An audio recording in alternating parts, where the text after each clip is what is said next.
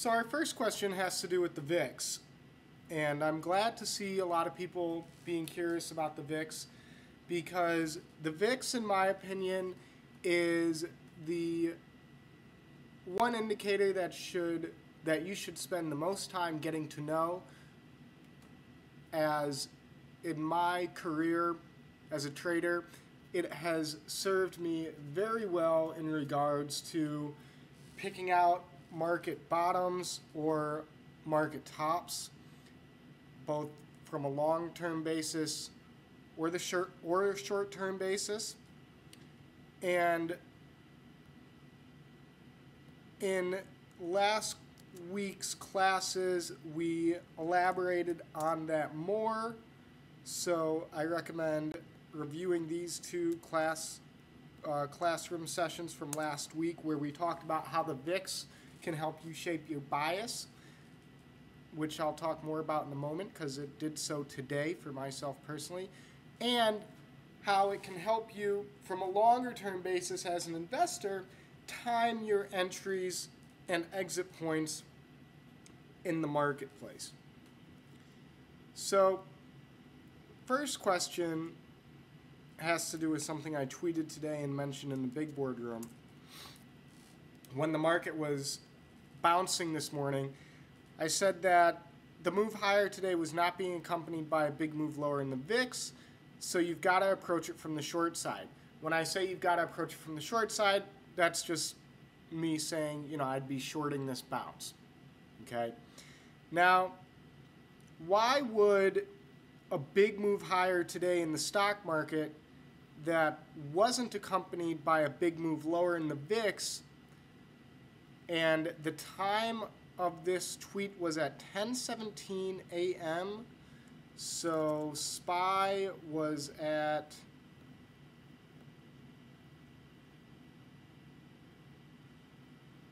SPY was so that's uh, what was that? I guess that's Central Time. Yeah.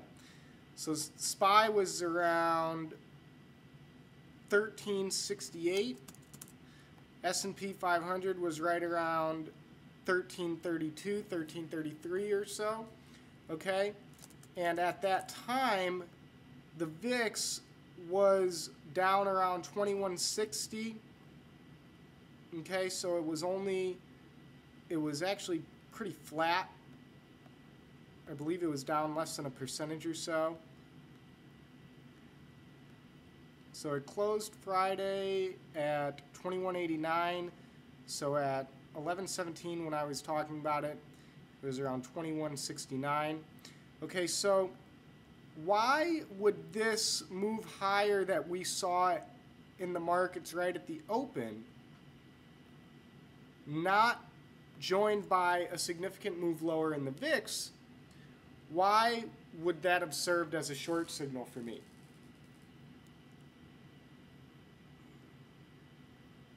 Anybody have any ideas of their own? From what we know about the VIX that we learned last week and have learned over the last couple weeks, why would a market rally that isn't accompanied by a move lower in the VIX be considered short signal?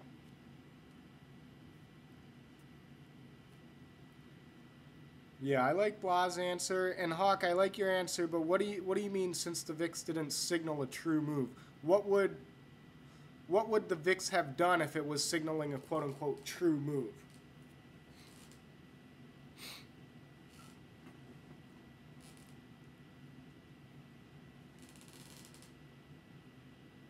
Yeah, it would have moved opposite the market because, like Akru says, it's an inverse relationship. So, and more than that, yes, it would have moved substantially because the market moved substantially. Okay? And the VIX is an inverse relationship. And the key about its inverse relationship is it isn't one that is based on a small sample. What I mean by that is sometimes you see correlations play out. For instance, sometimes Apple leads the market higher, you know, or lower. But that's that's more recently. That's more recent once Apple became, you know, the dominant stock it is, right? Or um, maybe you're seeing some correlation show up between silver and gold or something over the last couple weeks. You know, I'm just talking hypothetically. The reason I like relying on the VIX is because you'll see, as I've pointed out last week in class, and as I'll do here again, you'll see that not only is this an inverse correlation of the last year or last couple weeks, this is an inverse correlation that is has been very reliable throughout much of the last five years, with the exception of this brief period here when you had both of them kind of downtrending at the same time, but you did still see an inverse correlation there as well but that was just kind of the, the weakest ratio. So that's why today, when I see the VIX not moving lower at the open, even though the S&P 500 is, that's my basis for making a comment like this on Twitter that you've got to approach it from the short side, you know, unless the VIX starts to give you a different signal. So I tweeted that around 10:17, so 11:17 Eastern.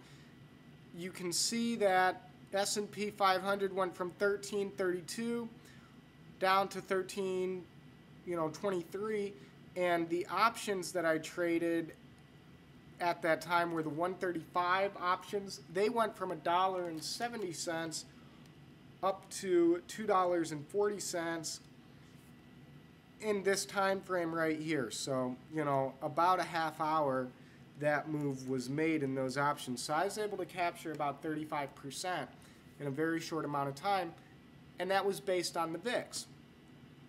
Now, you'll see late in the day, SPY really rallied very nicely once it was able to break above this base. We're looking at a five minute chart. So you can see here was the base. That was the highs. Here was the lows. You can see how it channeled here from about 11.30 through just about 3 o'clock. And then it really broke out, okay? It broke out past these highs. Now, what's important isn't this breakout, but what are we going to look at when SPY is breaking out here to signal to us if we should get long or if we should short this move? What was your what would what would your signal be from my perspective anyway? Yes. And not only that the VIX is also going lower, but it needs to be going below the low end of its recent base, right? Just like SPY is breaking out above the high end of its recent base, we need the VIX to be breaking out, breaking below the low end of its recent base. And as you can see, that's exactly what the VIX did. Notice that around 11:17 when I bought puts the first time, look at the major difference here. Okay? This is where we saw the inverse correlation play out more accurately. Okay, SPY VIX really broke its you know lows and it stayed near the lows of the afternoon around 3:30.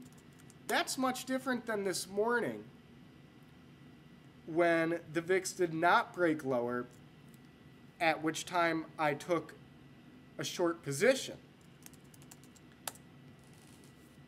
We pull them up side by side, we've got SPY on top. Let's change the colors here so it stands out.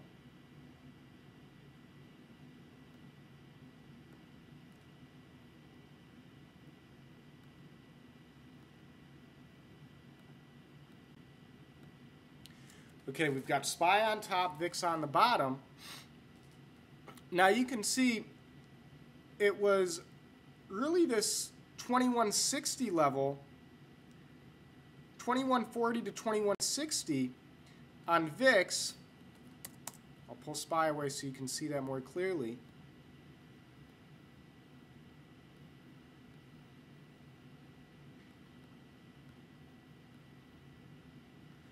So really this 2160 to 21 uh, on down to 2140, that was really the, the level in VIX to me, okay, based on the action earlier in the day. And you can see once VIX really broke below it, that's when SPY made that big rip here from 133.37 all the way up to 133.70. Uh, We're talking about four points because remember, every 10 points on SPY is one point on the S&P 500. So, you know, 40 points in SPY, four points on S&P 500. You translate into the options markets, and you're talking about a big, big move depending on which strike you're playing. So that's why the VIX is very important. Now, what's interesting about today, just to speak more broadly, is we had the VIX move higher, okay? It went above its high from Friday, but then in that same in the same day it also went below its low from Friday and actually closed near the lows. And you know the VIX is actually now lower you know 3 days in a row again. Oh no sorry 2 out of the last 3 days and it's lower 4 out of the last 5 overall. Oh, excuse me 4 out of the last 6 okay? However I'm just curious because I have my opinion based on the VIX right here. Does anybody see anything in the VIX these last few days that might shape your bias?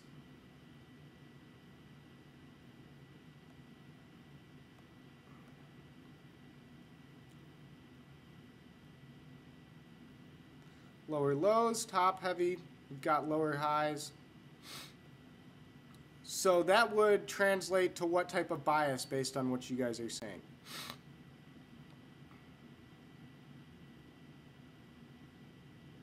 Well, it'd be a, a short bias on the VIX, but a it would be a bullish bias on the S&P 500. If you're if you're if you have a bearish bias on the VIX, you're going to have a bullish bias on the S&P 500 if you're a believer in the inverse correlation, which I believe we've shown why you should be. Now, so it seems like most people, judging by those who are participating, think the VIX looks kind of top heavy and it's downtrending. Is that a fair statement? Or is there anybody who sees something else in the VIX that's opposite or not in complete agreement with some of the things people have already said?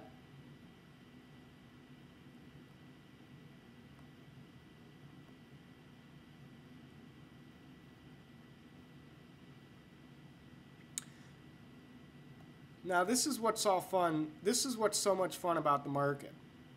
Because we can all look at the same thing and we can all disagree. Because I personally have, uh, have uh, a pretty bullish bias on the VIX. And what I see the last three days is I see that in general it stayed in the same range. Okay? And these three days seem very similar to these three days to me from May 14th through the 16th when the price action of the VIX was actually in the same range. Now, what this suggests to me is that at this level, if, if the VIX was a, you know, fixed security that you could buy and sell like a product, it would suggest to me that supply and demand is kind of in balance. I do know that it was lower by 3% today, but if you look, the low from Friday was 2130. It's only a little bit removed from that low. Okay. And so it seems like it's, to me, it's having a hard time moving much lower, especially after this big bounce from 1998 all the way back up to 2248. Because right then and there, that was a bounce of over 10%.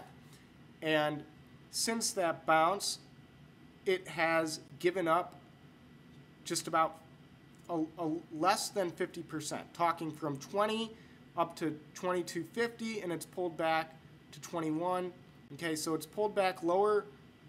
You know, it's it's a little below the midpoint of that range, which would be what 2125. Okay, so to me, I, I don't know. I, I kind of like this action in the VIX because if you look, the 20 range to 22 range for much of the year was resistance. We had a high here on February 10th, a high here on February 15th, a high the 16th, a high on March 6th, and a high on April 11th. Okay.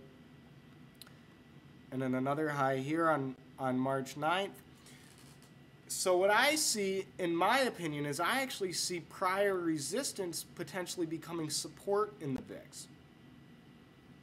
So, and then I also see a short-term downtrend, but a broader uptrend. Okay, it's, it's, it's been making some uptrends. But again, the main thing I notice is that for three days, the VIX hasn't been very volatile, meaning it's traded in a narrow range as far as open to close for three days in a row. And to me, that's kind of like a stock holding on to its gains. Now, when the VIX hold on, holds on to its gains, that, may, that means we're going to have more volatility. And remember, volatility works both ways. Without an elevated VIX, you don't get 100 point up days in the S&P uh, in the Dow and big moves higher in the S&P 500. Just look when the VIX was very low. Low VIX means low volatility. Look at March 13th through April 2nd in the VIX. Very low volatility. Look at that, those ranges in the S&P 500. You had, you know, you didn't have very many exciting days, with the exception of this this rip higher on March 26th. Okay, you didn't have huge ranges, so low volatility is actually worse for trading, in my opinion. But back to the overall concept of, you know, you got to pay attention to what the VIX is saying. Is it confirming the moves lower? Is it confirming moves higher? Okay. For instance, when you had this sharp move lower in the VIX on 521, okay, through 522, you had a, a big move lower on 521. For that day, that confirmed that the move was, you know, a solid move higher. And you can see that that was a great trade from 12.95 on up all the way to 13.28 okay before you saw the whiplash kind of from this big bounce in the VIX, right? And then again, you had another sharp reversal here on May 23rd, which was your first signal that, you know, you should actually go long because the just like today's move in the VIX at the open didn't confirm the move lower to me, uh, the move higher to me, that this sharp move off its highs for the VIX on May 23rd did not confirm the move lower for the S&P 500 and you actually had a nice bounce. Now you got to you got to combine all those things and take other things into consideration. For instance, you know, the S&P was in in the 1330s. Well, we've got a lot of lows from February, 1335, 1337 and 1340. You know, so to me, there's a lot of previous lows that could act as resistance. Then you've got something like USO, which oil couldn't really rally today. As you guys know, I like seeing the market led higher by oil, and if it's not being led by oil, then I'm not really a firm believer in rallies. And we've shown a lot of evidence of, of why that argument makes sense as well, which you can review in numerous in a lot of our commentaries and whatnot.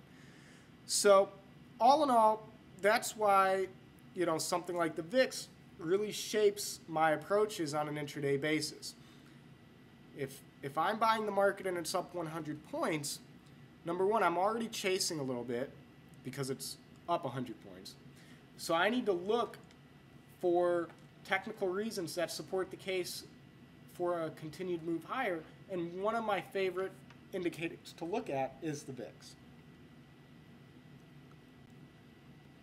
Okay, next question.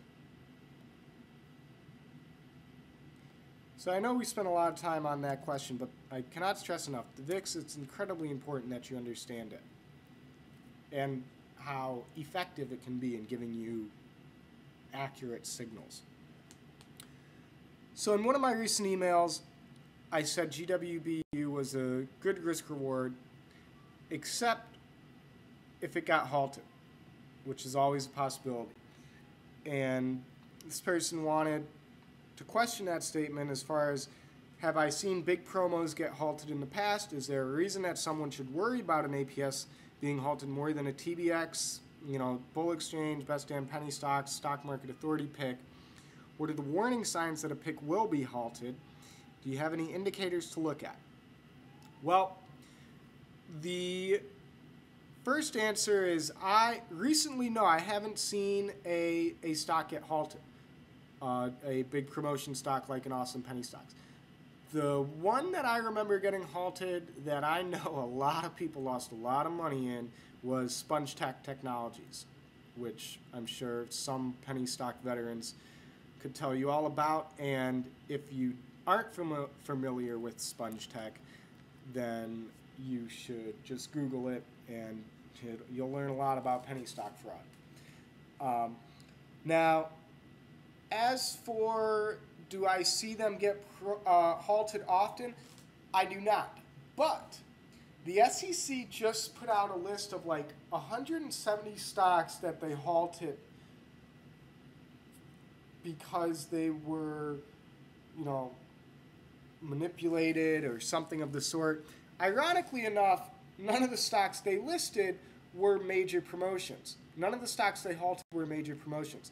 The stocks they all halted appeared to be shell companies that were just seeing a lot of manipulation from you know folks on iHub and and smaller time pump and dumps.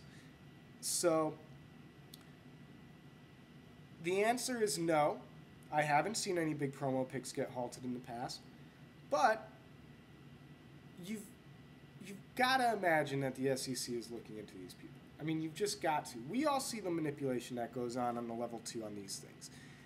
As for, is there a reason an APS pick would get halted other than before a bull exchange pick or a best damn penny stocks pick?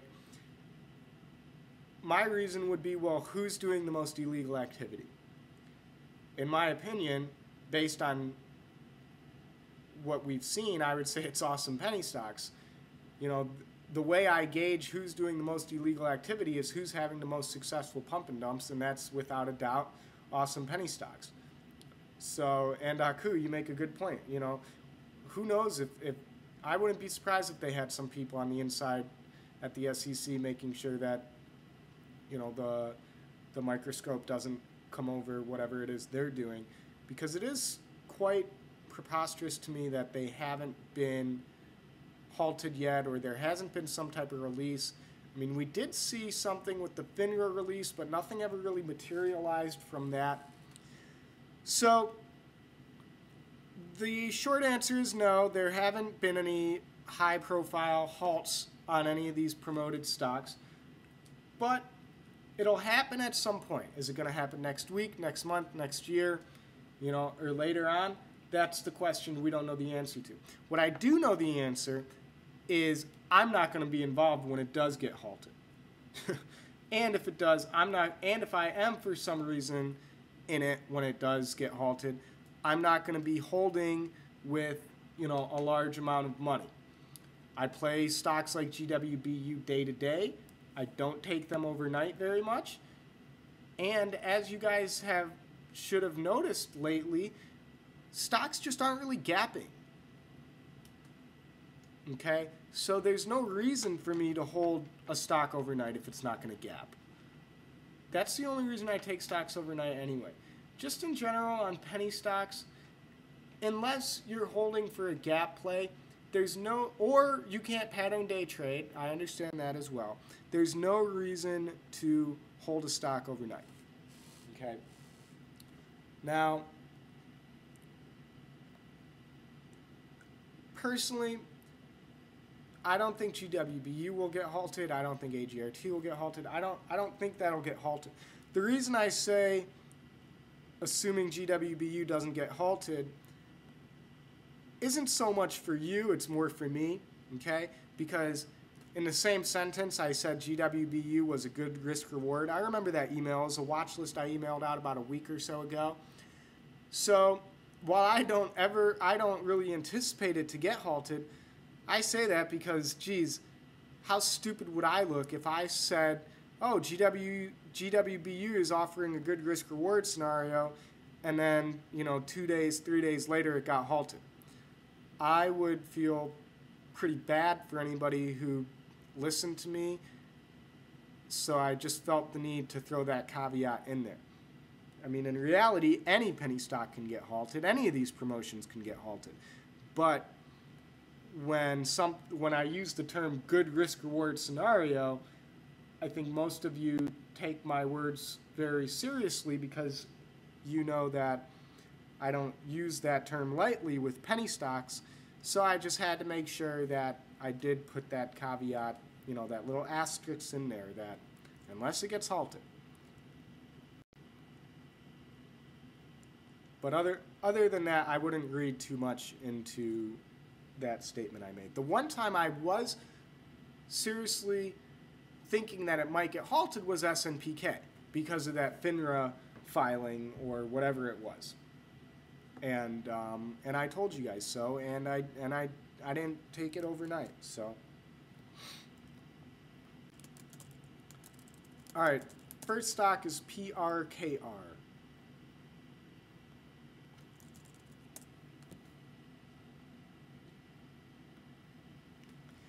So this is one that was on our watch list last week.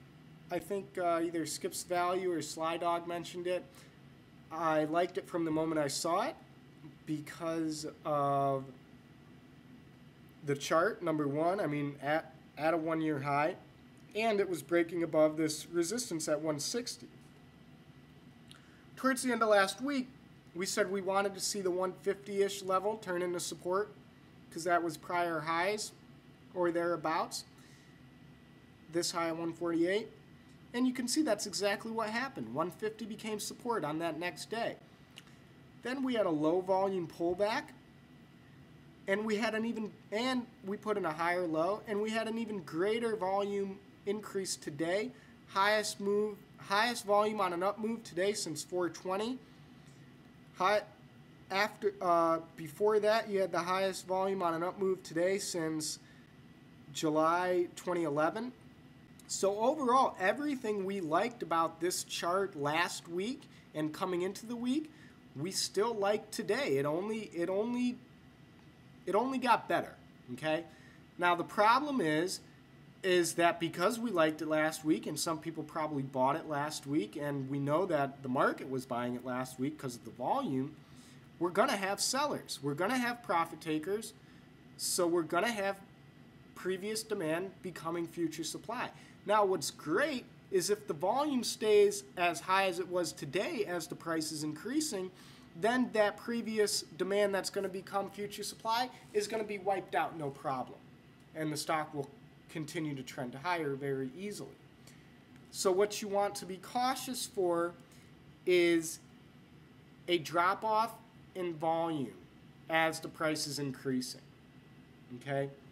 Obviously, if the price decreases, we know that we want to see the volume drop off. We like seeing that, like we saw on Friday and like we saw here in late May. Okay? So that's okay. That'd be fine. If it does pull back, just like we wanted to see 150 become support, now we want to see the 160 level become support. Okay? That was the key breakout high. So that's going to be the level to watch now. Like to see 160 to the tops of these highs. 168. We had a 167. Okay, so 160 to 167, I'd like to see become support now on any pullbacks. I'd like to see the stock, if it does pull back, I'd like to see it do so on volume of less than 500,000 shares or so.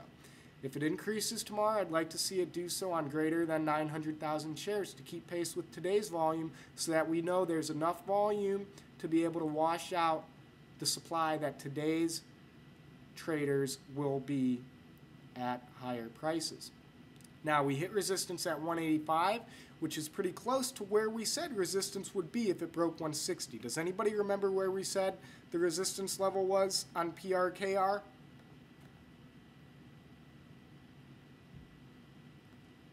From last week? Without looking at a chart. yes, 190. It was 190. So the high at 185 is very close to 190. So that's good because that means that tells us we are looking in the right spot. Okay? So again, and we got the 190 high because that was where a that was these highs here, this range, and it was where the majority of volume traded on the weekly chart. From this range here, you had the low at 196, okay? So yeah, so now resistance is going to be 185, and then it's still going to be 190 because we haven't hit it yet, and then 196 to $2, okay, and then 210. Let's look at the five-minute chart. So nice volume at the open signaled you were going to have something going on today. What I mean by that is you had greater volume at the open today than you had in the first five minutes of the day on Friday. Greater volume at the open today that you had in the first five minutes of the day on Thursday. Okay? The volume was as consistent as it was today as it's been at any other time in the last three days. What I mean by that is it traded, it was the most active today. Okay? Unlike on Friday when it had this random spike late in the day and didn't really do anything in the morning. And then on Thursday, it had a nice spike at the open, but didn't really do much the rest of the day. Here, the volume stayed consistent. It was consistent at the open, stayed above average, dropped off a little bit, and then the last hour, hour and a half really ramped up. So that's good. Nice close, a lot of demand right into the close. Looked like it might have wanted to retest the high of the day. So I expect good things tomorrow. Within the first 15 minutes, I want to see over 100,000 shares trade as the price is increasing. Very good chart definitely still in play. AGRT. So we spotted this one on Friday, and we were lucky enough that, well, first of all, we weren't that lucky because we prepared. We put this on watch going into Friday for unusual accumulation, some suspicious activity, because you can see that it had this 400,000 share day when it went from 11 cents to 39 cents what does that tell us when it trades very low volume but has a ridiculously wide range from 11 to 39 cents? What are some of the things something like that tells us? You guys are going to learn something very nice right here. Yes, low float. That's that's the obvious one. I'm looking for the one that's not so obvious. Yeah, accumulation, but get specific. What is it really telling us when it has a range like this on high volume it opens at 12 cents, closes at 25. The high was 39.9. Volume's coming out of nowhere. The day before, the low was 9. The high was 25. What's that? What are those ranges telling us? Yes, a very big demand. Okay? Front loading. Specifically, it's telling us that not only is it a low float, not only are people getting shares at 10 cents and 15 cents at 20 cents, it's telling us, damn, they're buying this thing all the way up to 40 cents. What the hell's going on? What why are they willing to buy 39s? Who the hell is buying it? Why are they willing to buy 25s when it was just at 12 cents, when it was just at 9 cents? On this day, why is somebody willing to print 39 cents again? Why are they willing to print 28 cents? What is going on? What is the stock telling you? It's telling you that somebody is buying it and he doesn't care where the hell he's getting filled. Maybe because he knows that at the end of the day, it doesn't matter where he gets filled. Because he's going to make 100%. That's what a stock like AGRT tells me. Okay? Yeah, Coco, that I didn't notice that. I didn't see you say that, but hey, that's exactly right. People don't care what price they get. Very that's exactly what I was looking for. Okay? That's one of the more subtle things to notice. Not just that it's a low float, but that people aren't caring where they're buying shares. And then Friday, I mean, you saw the dump, but look at what time it, occurred. Right, be, last 15 minutes of the day. We all know that, you know, anytime you have something like that, it's very shady. Last 15 minutes of the day on a Friday when we know a pick is coming, it's like they waited until the last second to fill somebody up. Okay? And the people who bought before, they don't mind necessarily because they know it's going to be so thin at the open that it's going to get right back to 30 cents really easily anyway. And you saw that today. Okay? So, huge move today. Right? And for those of you who are newer, this stock actually got promoted in 2009. I remember it by a company hypergrowthstocks.com and some other old outfits that used to be around. And then they did a reverse split. Okay, you can see you can see the promotion from 2009 if you look back. It was January, it was December 2009.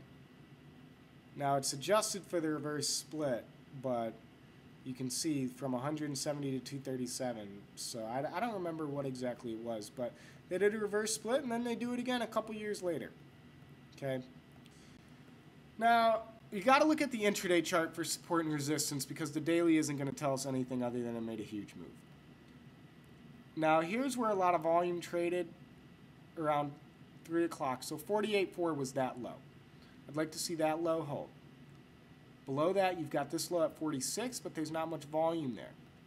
Okay, you've got this low at 44, but again, there's not much volume. These are the, this is the range where you actually have some decent volume. So really 40 cents. 40 cents was the morning high. Once it broke it, it never really came back and tested it. So that's going to be your, your, your key support level is 40 cents below some of below this 48 and a half cent level.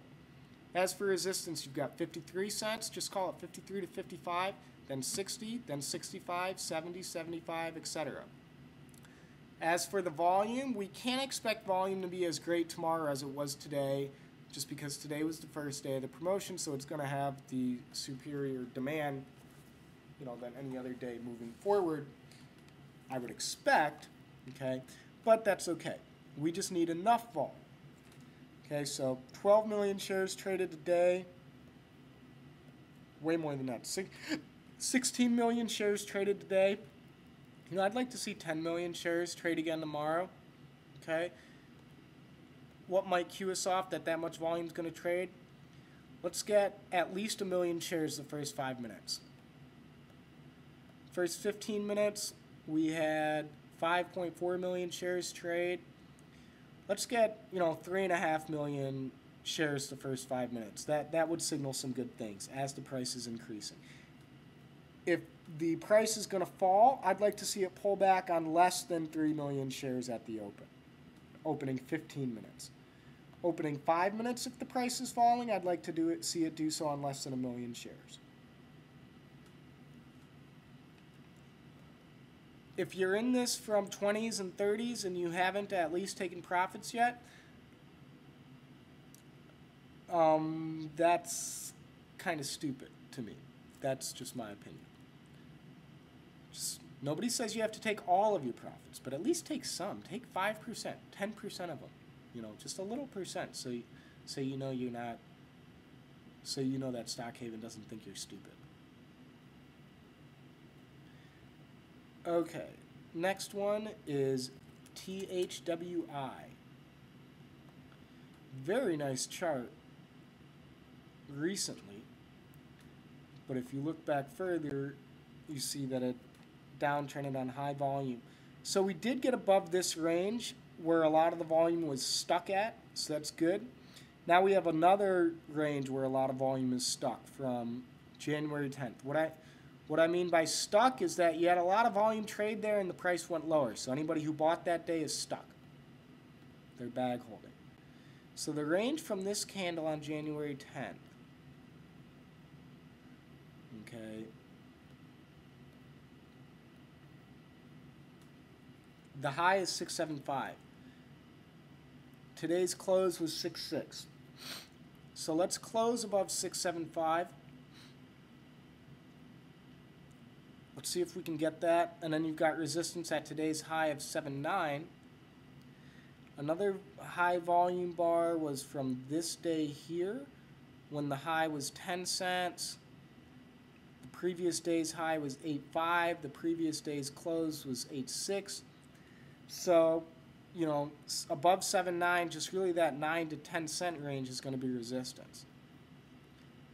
I do like the volume today. It increased. Very nice increase in volume. The price reacted nicely. Didn't close at the high, but you know, closed above the middle end of the range. As for support, you know, five cents. Five cents capped it on Thursday, capped it on Friday, so let's see five cents turn into support.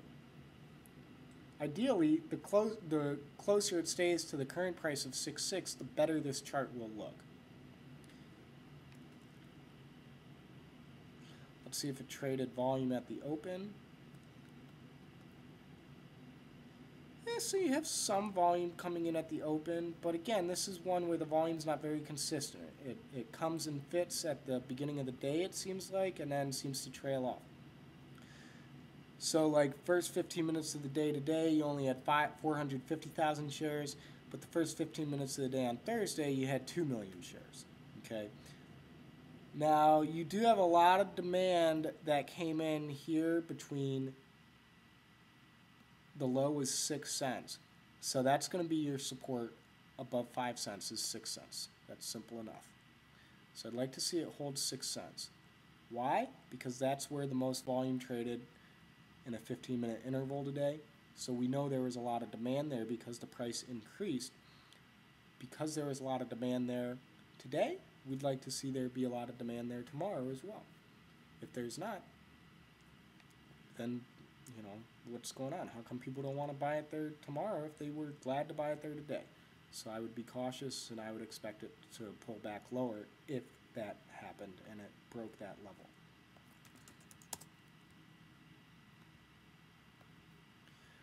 ORYN, nice liquidity, traded over a million and a half dollars today just about. What I don't like is how far it closed off the highs. Let's make sure this is accurate.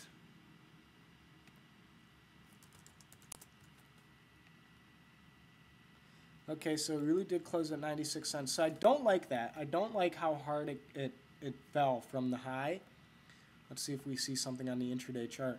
So it, it really just kind of dried up. Okay. I will say I did receive some promotion emails on this right after the bell, so this seems like one that's a bigger budget promotion. Now, it gave up all of these gains, and it's having a hard time getting back above the $1 level. So that's the first step. Let's see it stabilize above a dollar. If it can do that, then we can talk about resistance at today's high of 111. Okay. This high from Thursday, May 17th at 112 is pretty much in line with our high 111. Then we'd have 116 and then 120. But until we get back above a dollar and stay there for a day, you know, we can't even talk about that. As for support, after today's big volume update, there's no reason it should go back below, you know, this 90 cent level. It held it the last three days, so it needs to keep doing that. Interesting risk reward here because you can buy it at, what, 95 cents. Know that you're going to sell at a loss if it goes below 90 you'd be looking at a 5% loss, assuming you can get out rather easily, which it seems like you can because of the liquidity that it has, at least today. Meanwhile, if it does recover back up near this 120 high, you'd be looking at a gain of 25, you know, to 30%. So that makes, you know, you can potentially make 25% or potentially lose 5%. All of this is based on the fact that all this is based on the assumption, though, that it will remain as liquid as it was today, which may not be fair to assume. And that's up to you, you know, if you want to take that risk. Because it did show the last week the liquidity did dry up a little bit. Okay. So there's no guarantee that you'd be able to get out at, at 90 cents. But judging by the ranges on the day and the overall liquidity to the stock, I would think, you know, you'd be able to get out 90, 89, 88. This isn't, when I speak about this potential risk reward, I'm not talking about a day trade. I'm talking about, for those of you who might be more of the swing trader, this would be one to me that qualifies as a potential swing trade. I always try to point out potential swing trades when I see it for people. Okay.